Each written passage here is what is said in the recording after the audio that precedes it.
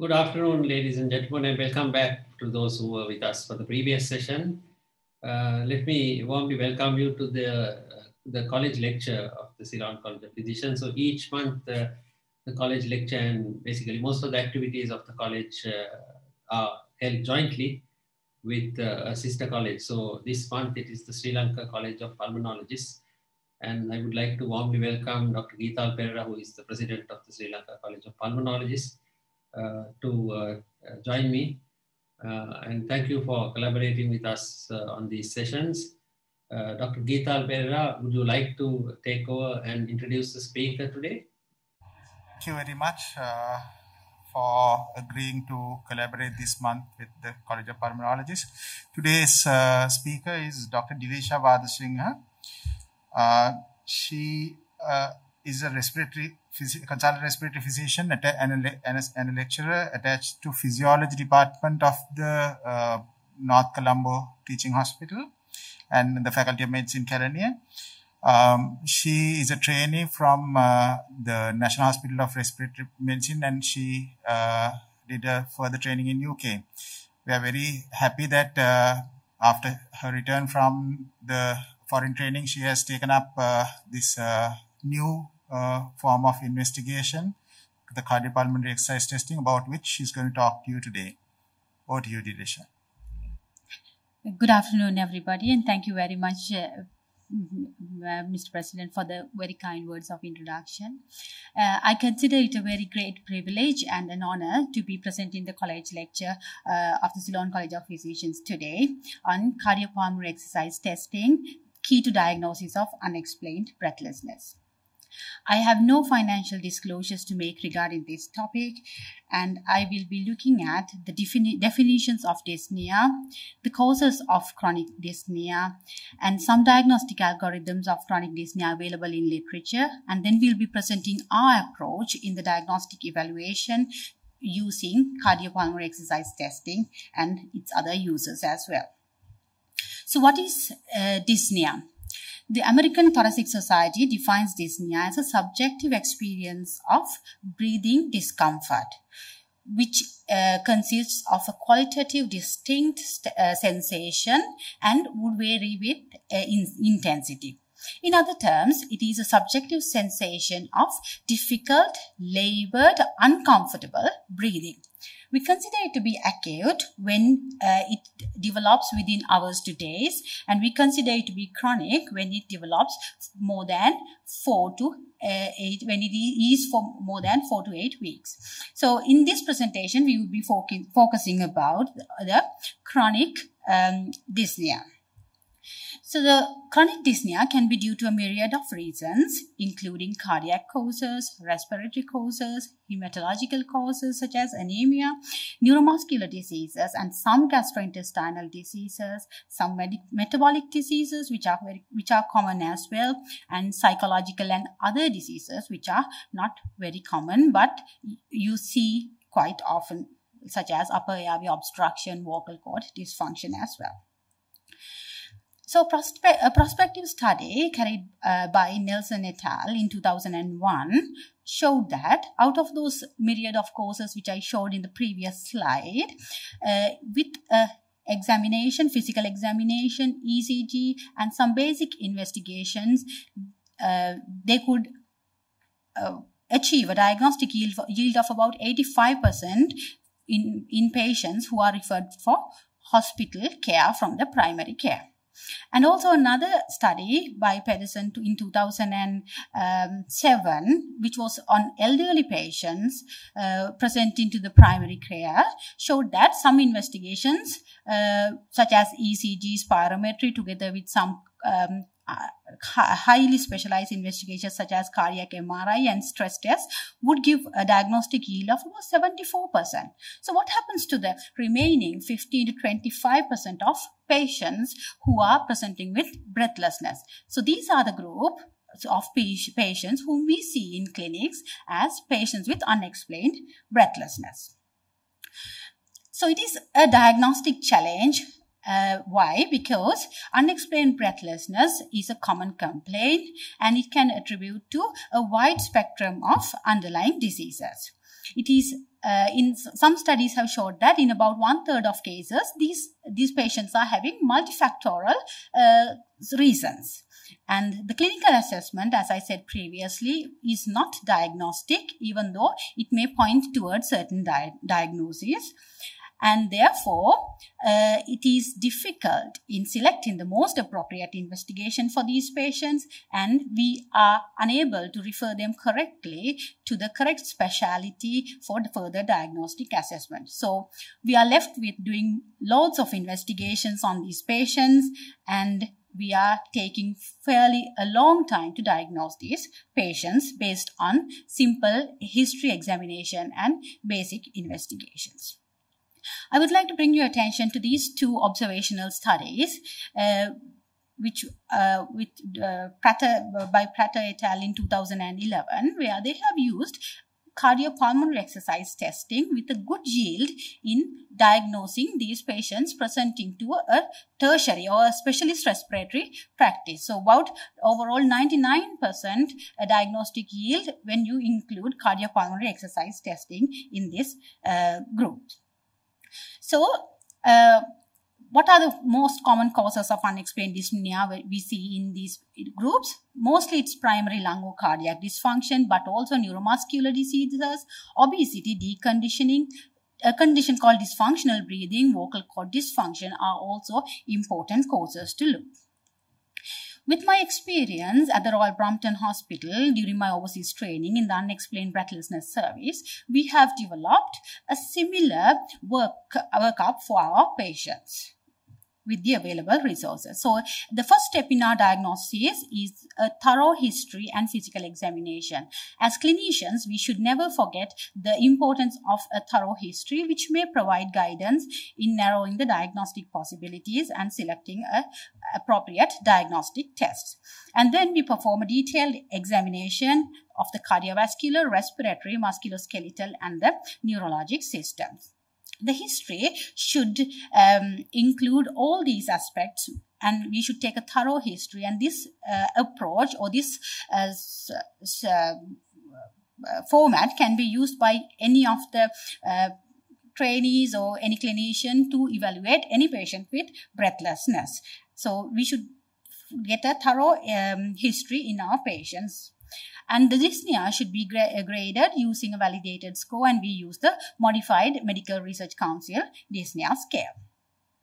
So as the second step, we would uh, uh, do some basic investigations, uh, including a blood test, kidney liver functions, BNP, thyroid stimulating test, uh, hormone test, and then a, a chest x-ray and a ECG on our patients. Depending on the history examination and the initial basic investigations, we perform a full lung function test, including a cardiopulmonary exercise test in our patient. So what is a cardiopulmonary exercise test or CPEX or a CPET?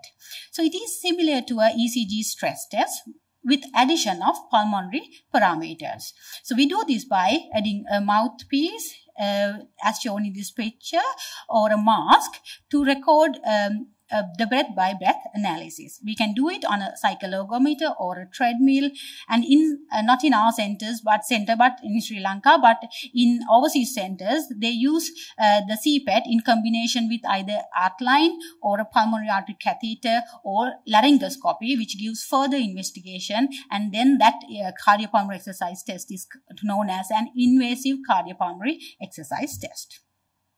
So why do we do a CPET? So a cardiopulmonary exercise test would give us information about cardiovascular respiratory muscle physiology during exercise. So we can use this test to evaluate unexplained dyspnea. We can use this test to assess which system contributes more to dyspnea in our patients with dual pathologies. We can use this to quantify fitness level in our patients. And we also can use this to uh, as a preoperative assessment for surgical risk assessment in certain groups of patients. And and also we can use this as an evaluation, exercise evaluation prior to pulmonary rehabilitation and a very important use of this is to measure response to intervention such as pulmonary rehabilitation or in heart failure uh, uh, treatment such as diuretic ter therapy. So you can use this test to monitor the response to a given intervention. So during my presentation, we will be looking at how to use CPET for evaluate unexplained dyspnea. When we're talking about CPET, we cannot forget Dr. Karlman Wasserman, who is an American physiologist who has worked uh, extensively in pulmonary physiology. He is considered the pioneer in CPET and the founder of the Wasserman 9 panel plot, which is the standard graphical representation of the uh, data we gather in cardiopulmonary exercise testing. He also described the gear wheel model, model, which we use to explain the results obtained from exercise testing, which I will show you later. And he defined the anaerobic threshold and showed us how to uh, determine the anaerobic, anaerobic threshold using the ventilatory cardiovascular gas exchange responses. So what do we do uh, measure during a C, during CPET? We measure the oxygen consumption, carbon dioxide production, the heart rate, blood pressure, ECG, saturation using a pulse oximeter, ideally in the ear or the forehead, and other end tidal carbon dioxide. So this is the gear wheel model described by Wasserman, which shows the gas transport mechanisms coupling the cellular respiration, which is the internal respiration, to the pulmonary respiration, which is the external respiration. So, you're looking at this diagram, we can uh, uh, determine that exercise tolerance is determined by three factors. And what are they? The pulmonary gas exchange, the cardiovascular performance, including the peripheral vascularity, and then the skeletal muscle metabolism. So, when we are uh, talking about functional exercise testing, we should understand the Fick's equation, uh, which is of paramount importance. It would consider all physiologic abnormalities that can alter the body's uh, consumption of oxygen. And it states that the oxygen consumption, which is VO2, equals to the cardiac output times the uh, difference between the arterial oxygen contents to the mixed venous oxygen content. So the cardiac output from our medical school days we know can be obtained by heart rate times the stroke volume and any lung disease causing hypoxemia, anemia, hemoglobinopathies which reduce the oxygen carrying capacity or intracardiac shunts can cause a reduction in the arterial oxygen content and even though not very common, uh, myopathies and neurological diseases which can reduce the oxygen consumption or the metabolism of, of, of oxygen in peripheries are, uh, should not be forgotten. So before we look at what is uh, how to interpret abnormal, what is let's look at what is limiting the, a normal person's exercise. So a normal person's exercise would be limited by reaching his maximum cardiac limit. So if you go back to the Fick equation, uh, we can see that the cardiac output is limited by the heart rate. So when a normal subject reaches their maximum heart rate, we see that about 25 to 30% of his ventilatory reserve is left. But having said that, the athletes can reach ventilatory, reach their ventilatory mechanics, mechanical limits while they are reaching their cardiac limits as well. So, in, in the initial part of the uh, exercise, we do an aerobic respiration and the oxygen consumption as shown in the gray line here goes up carbon dioxide increases proportionately and so does the um, minute ventilation so once the anaerobic threshold is reached, the uh, uh, aerobic respiration is supplemented by anaerobic uh, metabolism to produce energy. Therefore, the lactate level gradually increases, but the body buffering systems come into play and therefore the pH remains stable.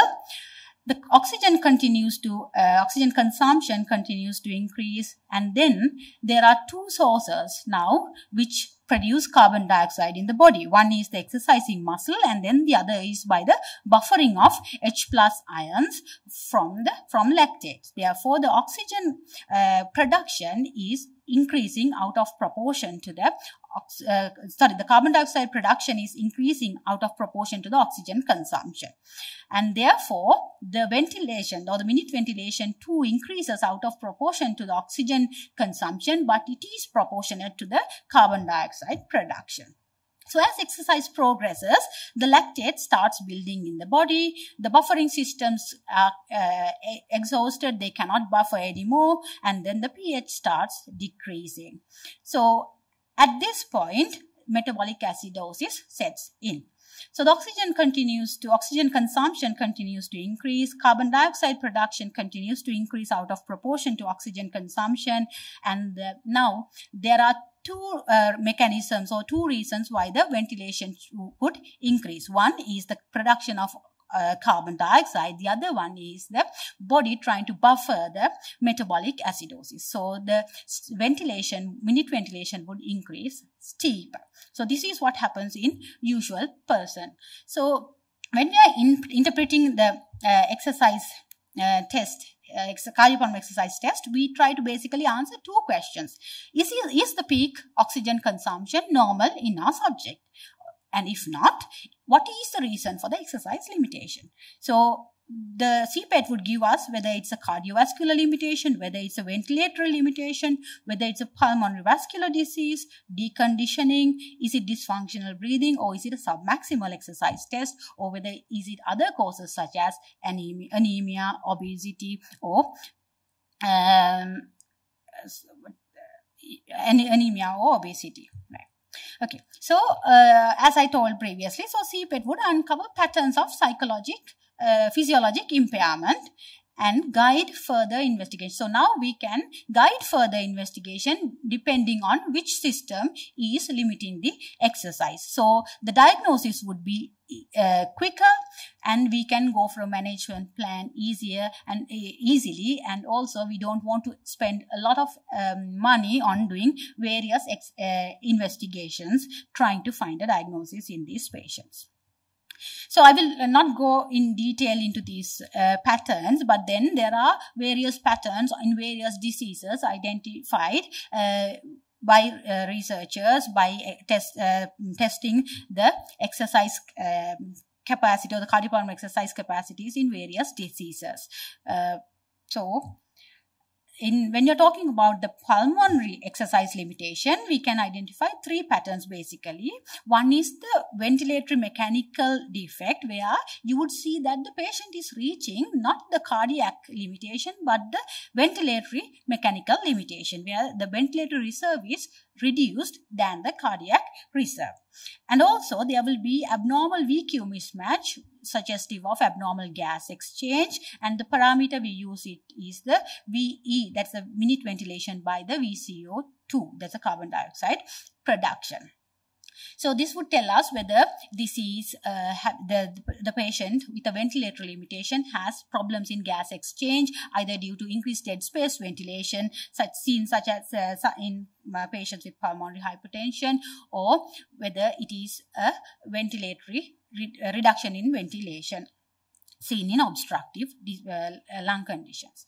And then also we would see a reduction in diffusion uh, noted by a drop in saturation which we monitor throughout the uh, test. Okay, so I'll, this is this shows again that the uh, in COPD ILD, which are lung conditions, you see that the peak heart rate is decreased means that there is more heart rate reserve and the um, ventilation divided by the minute ventilation times 100, which is the breathing reserve, is increased or uh, normal or in, slightly increased in uh, lung conditions, giving us a low breathing reserve. So this is one of our patients. So you can see in this patient um, who is a 19 year old girl who came, who is a non-patient with asthma but is complaining of breathlessness. So in this uh, study, you can see that the maximum oxygen consumption is 97% of the predicted, which is below 80%. So it's slightly marginally reduced. The patient has uh, uh, uh, reached 80% of the predicted workload, which suggests that it's a fairly good attempt in this patient. And the when looking at the reserves, you see the heart, cardiac reserve is 34. So usually we tell that the cardiac reserve is uh, limited when it reaches above about 15 so there is more cardiac reserve left in our patient. And remember i told you that when the cardiac res res uh, reserve reaches in a normal person you have about 25 to 30 percent of the breathing reserve left. But then in this patient it's only 17 percent left. So this patient is clearly limited by his respiration or vent ventilation. And also this parameter here, which is the equivalent for carbon dioxide, which would suggest whether there is a VQ mismatch, is slightly uh, uh, high at the anaerobic threshold, suggesting that there is some degree of VQ mismatch in this patient as well. So looking at the flow volume loops in the patient, so we can see that, so in if there is airway obstruction, we would expect that this expiratory limb would go out of this uh, gray line, which is the normal um, flow volume loop, expiratory flow volume loop, uh, line of the of the patient. So in this, it slightly slightly goes above, but then remember this is asthmatic who is on inhaler treatment as well. So they maybe her asthma is not that well controlled in this patient, but he, she did, did not show any uh, dynamic hyperinflation where this graph shows dynamic hyperinflation where with each um, uh, while ex exercise progresses, we see that this loop shifts towards the left, suggesting dynamic hyperinflation. So this patient shows that she is limited by her respiration and there is some degree of airway obstruction still but it does not fall in the cutoff values what we uh, use to uh, define airway obstruction. So this is another uh, disease, uh, this another condition actually, which is missed by our common investigation, which is dysfunctional breathing. It is a breathing disorder where there is chronic changes in the breathing pattern, resulting in dyspnea or um, increased work of breathing. You will see mild hyperinflation, uh, irregular rate, respiratory rate and volume of respiration and frequent sighing in this patient. Studies have shown that in patients with dysfunctional functional breathing, fluoroscopic studies show the diaphragms becomes flattened and hypertonic with relative immo relatively immobile and therefore because the diaphragm is your main uh, respiratory inspiratory uh, muscle so if it doesn't function well then your intercostals and your accessory muscles starts to contribute more re uh, resulting in increased work of breathing and perception of dyspnea so this is another patient uh, whom we tested. You can see clearly that her, her, breathing pattern is very erratic. Some large breaths here, some shallow breaths, and then very irregular breathing pattern throughout the test. And the uh, respiratory rate is very scattered. Uh, there is, it's all over the place actually.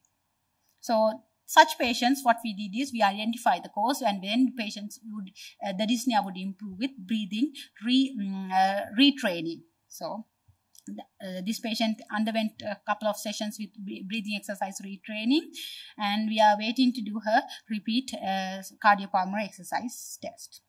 So before I finish, I would like to just introduce to another two entities which present with exertional breathlessness and wheeze. And we see these in some of the very high-end athletes as well, which is ILO or the exercise-induced laryngeal obstruction and exercise-induced bronchoconstriction. So this graph shows clearly that the in ILO, the uh, peak uh, symptom intensity is at peak exercise, but in exercise-induced breathlessness, it is soon after the peak exercise. And in this condition, inhalers help, but in here, inhalers does not help. If you listen carefully, you can hear a inspiratory stridor in these patients. So how to diagnose this, I, I, uh, how to diagnose ILO is by combining CPET with a continuous laryngeal examination, laryngoscopic examination. So this is how it is done. And I was very fortunate to see this as uh, assisting two patients uh, being um, un undergoing these investigations during my overseas training. And you can see clearly that at peak exercise, the supraglottic area is closing leading to airway obstruction and stridor in these patients. So uh, this cardiopulmonary exercise test incorporating into this uh, unexplained breathlessness would give us some diagnosis which we don't get in through usual um, exam uh, investigations and it is a reassurance actually for the, these patients because they know that their breathlessness is real but nothing in their nothing something in their head okay. So in summary uh, I would say that the cardiopulmonary exercise testing would give us a lot of physiologic uh, specific physiologic abnormalities integrating the cardiopulmonary uh, system, the neuromuscular systems, and uh, would give us an idea about what contributes to the persistent breathlessness. And also, it can uncover these patterns of physiologic impairment and hence can guide us for further investigations and lead to a uh, early diagnosis and uh, early management plan in these patients presenting with unexplained breathlessness. I would like to thank my um, supervisors in, in, my during my overseas training, Professor Jim Hull and Dr. Shamila Vitana, uh, who uh, helped me to get myself trained in this uh, new um, not new but uh, new to us actually. Uh, exercise testings and also i would like to thank Amita, uh, dr amita fernando uh, who is a respiratory consultant, uh, consultant respiratory physician at War clinic for his uh, contribution in initiating these tests in sri lanka. Dr bandhu gunasena my local trainee for his continuing support in achieving these goals and Dr. Lakmali Amarasiri, who is a senior lecturer in physiology for her um, valuable contribution in starting CPET in Sri Lanka. And also, last but not least, uh, Mr. Chaturanga Jayalath, who is a physiotherapist who does cardiopulmonary exercise tests in our unit. And all my teachers and trainers who contributed um, to my success. Thank you. Thank you, Dilesha, for that wonderful lecture and introducing a new entity to the clinical practice. And now is the time for question and answers. Uh, yeah, Hitat, would you like to ask a uh, question? yeah, just because of the constraints of time, shall I ask uh, one question?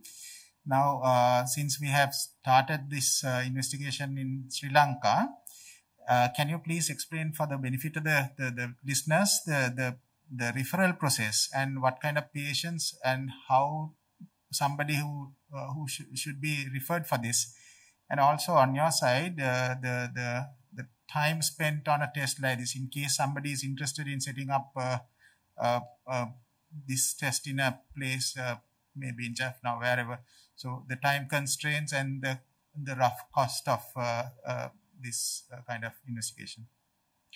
So um, this so the process of referring is unfortunately we uh, do it only in private sector because we uh, have the uh, in, uh, facilities in private sector.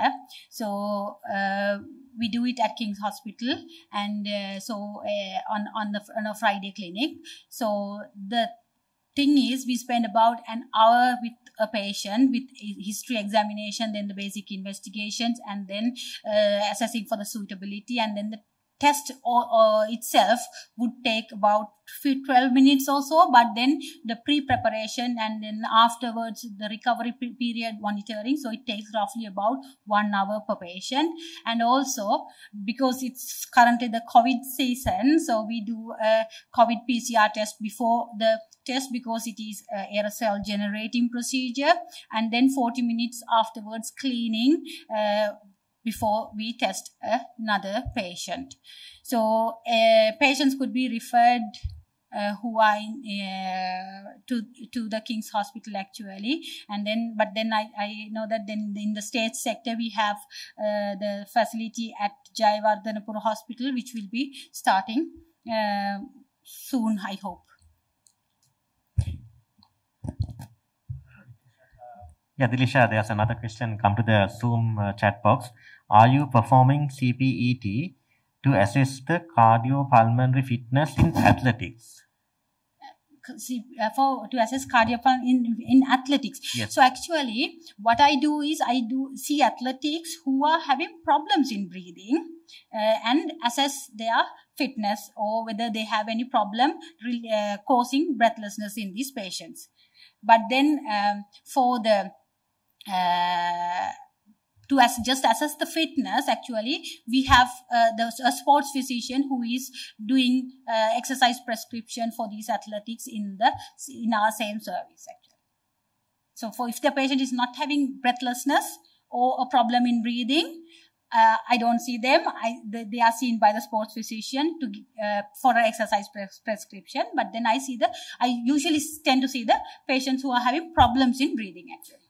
I suppose this test can be used uh, for uh, assessment of training programs, whether they're effective and yes, of course, to send somebody for Olympics and all that. No? Yes, yes, of course, they can be used because not only for the training programs, even for our pulmonary rehabilitation, we can do it before and see whether our training program has improved. And even for the patients with deconditioning, when we diagnose some patient breathlessness, deconditioning is the diagnosis. We put them on a training program and then assess their improvement afterwards. So this can be used to uh, to assess their current performance and whether the training programs have been effective or not as well. Uh, on behalf of the Ceylon College of Physicians, uh, I would like to hand over the certificate of appreciation uh, for that wonderful lecture and your explanations.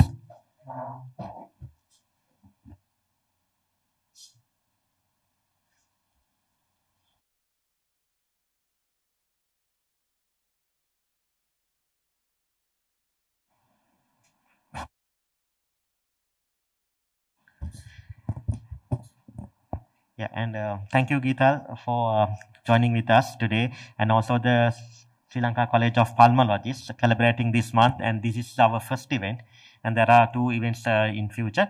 And uh, on behalf of the Sri Lanka College of Physicians, uh, I would like to thank the our sponsors, the CIPLA for the YPF, and also the GSK for their college lecture, and our audiovisual staff and the staff of the ClinMark and staff of the CCP and uh, all the audience we, uh, who have joined us in virtually today. And uh, we will come back to you with the specialty update and the expert webinar in uh, next few weeks. Thank you so much.